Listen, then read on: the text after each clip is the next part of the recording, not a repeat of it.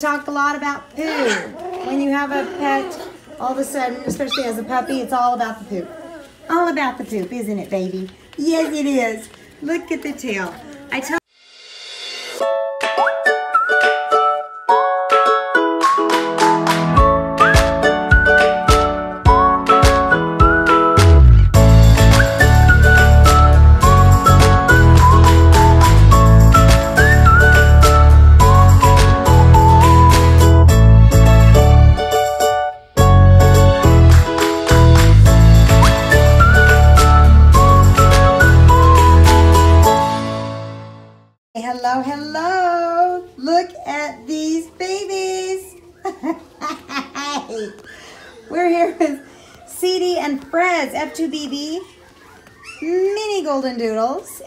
are five weeks old. Yes.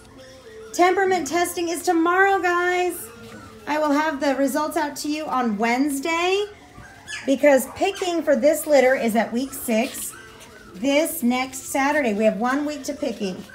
So you will get new video on Wednesday and temperament testing on Wednesday. Those who are picking via video, uh, that'll help you guys go ahead and narrow down your choices.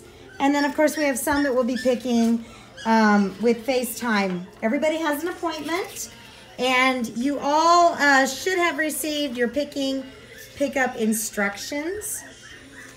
Those were emailed along with directions to kind of get you started here to see how we're going to do things. So in this litter, um, this is a mini litter.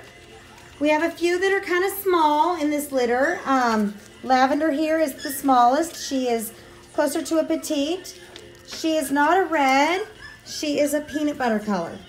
She has lighter undercoating. Peanut butter, light red here, is dark pink collar girl. So there's two in this litter that have more of a coat that's resembling my Chiquita. Um, I will go ahead and put a picture of Chiquita up on the weekly update so you guys can go ahead and see that. So you see what it looks like at week eight and then again what it looks like full grown. But um, there's a, a waviness to it, but it almost resembles more of our English cream wavy coats and a very retriever looking face. Let me get red here. red is also a light, a light red, kind of dark peanut butter. You can kind of see here with the three. This is a traditional red, and then you got these, this peanut butter looking. All right, group pictures just didn't really even happen very well, guys. They're, they're way too active, you can see. They're not gonna do that. okay, so we went through those three. Um, temperament wise, I mean, this is just a very, very loving group. They absolutely want to be with people. Um, if you are, I tell people to be prepared with your top favorites. If you are like pick um, six, then have your top six lined out.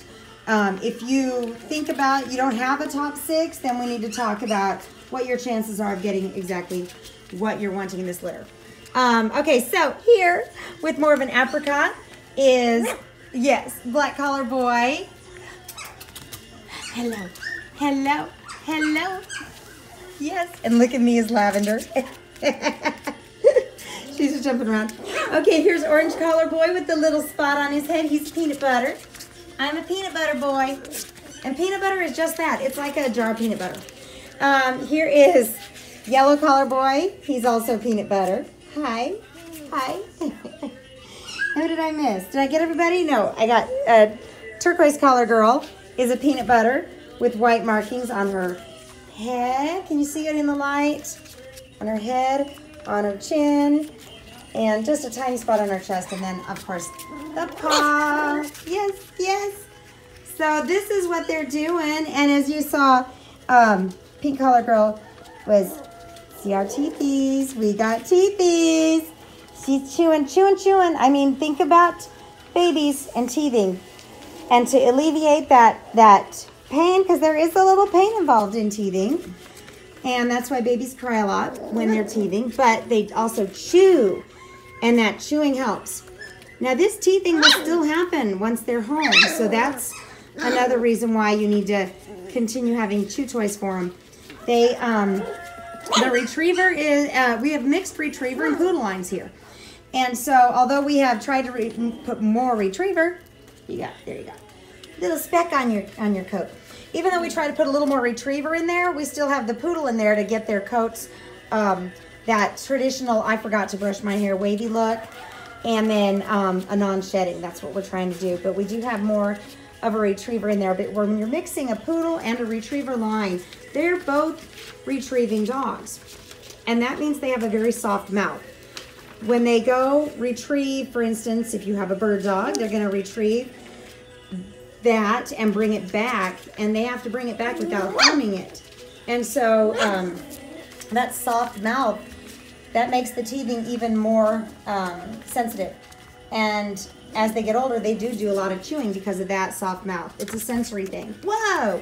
Excuse the mismatched socks, guys. I tried. I tried. Yeah. so that's why I say lots of chew toys. Um, I, I got a, an email and a, a text. I get a lot of these, and I don't always get to answer everybody right away, but a big question is bully sticks, yes or no? For puppies, I say no. Um, they can get little pieces off and they can get lodged in their throat or even further down in the digestive system. So I say as they're older and able to, you know, chew on that a little better, yes, but in the younger stages, no. Um, I do like pig ears, or I need to also, you know, I guess I just need to go ahead and, and put a section there of some of my favorite things on the blog. Um, but Costco has some really good um, chew sticks that we like, and it's more like a rawhide, but it doesn't come off in tiny little pieces. So for a small puppy, they're going to be gnawing on that for a very long time. And I really like that. I like the pack that they come in too. So, um, and I do like pig ears for chewing. It's a good size for them, but not too small so that they start having problems with it. So, and of course, there's a lot of other artificial chew sticks that um, they can chew on. As with any toy, once it starts, you know, getting pieces off, like everybody gets one of these little footballs when they go home. Once they start taking these little pieces off, then, um, you know, you need to discard that. I've always talked about rope toys. Rope toys are awesome. I mean, eventually they might get a little string. You're going to see that in their poo later. If you watch the English Retriever video, you know I was saying we talked a lot about poo. When you have a pet, all of a sudden, especially as a puppy, it's all about the poop. All about the poop, isn't it, baby? Yes, it is. Look at the tail. I tell people, puppy, yeah, you can tell puppies' reactions and their temperament and um, their mood, I guess I should say, not temperament, is looking at that tail. If the tail is down, they're they're um, not necessarily scared, but cautious, investigating. If that, you guys are not going to be able to nurse on me. I'm sorry, that's just not going to work. that's not going to work. Um, but the tail lets you know what, what's going on. Once that tail is up and wagging, look at all those wagging tails. They're happy, they're playing. Yeah, all is well with the world. Yeah. So, yeah, look how tiny this one is. Look, he's small. I'm just a little girl. Yes. Pink collar girl. So for those in this litter that are preferring a female, um, we just have the three, lavender, dark pink, and turquoise. If dark pink is not going to be the coat that you want, then this is probably not the litter for you. You're probably wanting, if you're wanting a curly. This litter has zero curlies in it. No curlies at all. Yeah. They will all be the same wave. It's just a matter of how thick it is. And like I said, um, pink and red are probably going to have a little, a little thinner coat. But as they get older, that coat does. And I'll show you a picture of Chiquita. I guess the um, thing that I really like about that coat is that it does not mat. So you can keep it long and you don't have to, I mean, you still need to brush it, but you're not going to be dealing with all those mats where you have to shave them down. A doodle that's not brushed, or, I mean, it's always going to happen, guys. You're going to get some matting in a doodle coat. And um, you can always cut the mat out, or sometimes people will go ahead and their, their groomer will do a full shave down. These aren't fleece coats, so most groomers can go ahead and use a guard. And that way they can go ahead, or they can scissor cut. But if you ever have to shave down, some doodle owners have to shave down. That's okay, but the hair grows back. It's always growing. And so um, that poodle in them is always bringing that coat on. So, you know, it might take three months, four months to get that coat back. But if you ever have to do shave down, don't worry. You're going to get that coat back. I remember the first time we shaved Duke and I cried. It, it was a a night. Duke is is um, trying to think how he might be related here. I can't even think, guys. But um, and we had that snow here. We had that record snow here. We had 13 inches of snow. It's like a 30 year event. And um, Duke's coat was nine inches long, and he was out there really enjoying it enjoying the snow and he got all for people that are live in uh, climates that have snow you know that about your doodles they get those little snowballs all in their hair and yeah and eventually it was just too much so we had to go ahead and shave him down and i just cried and he looked embarrassed he would like kind of hide like oh my gosh where's my beautiful locks yeah what do you think look at you guys look at this personality, guys. Boop, boop. This personality is awesome. All right, who can sit for me? Are we all too too happy and energetic? Can you sit? Can you do good sit for me? Does Jessa have to be here to help us? Can you do good sit? Good sit? Who's chewing on my feet? Hey, no. I know that looks, toes and fingers look awesome, but no, no. We're not going to do that. I know. You're like, that is awesome. Thank you for bringing the chew toy attached to your body.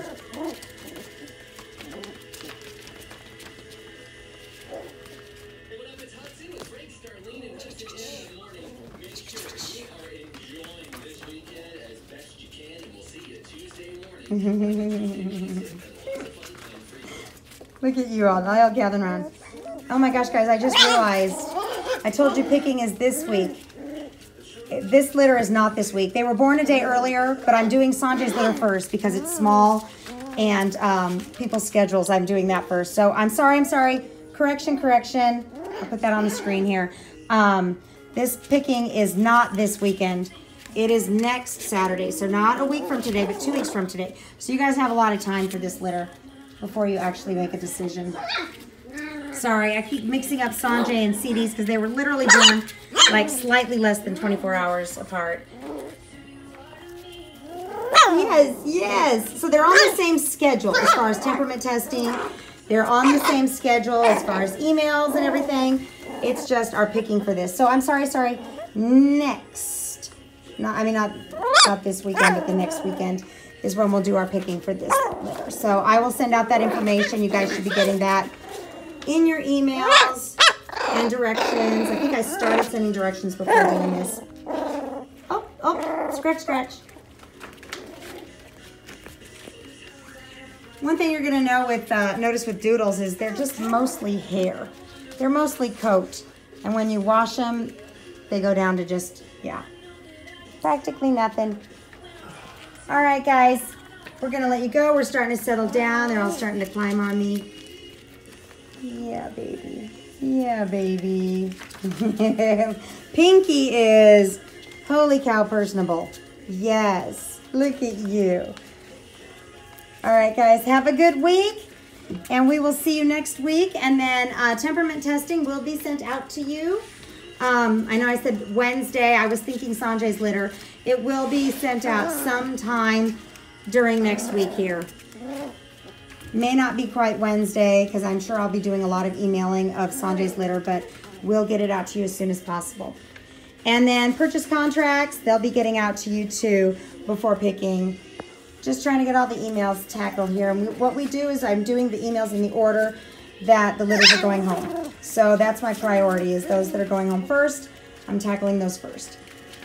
All right. Say bye-bye. See you next week.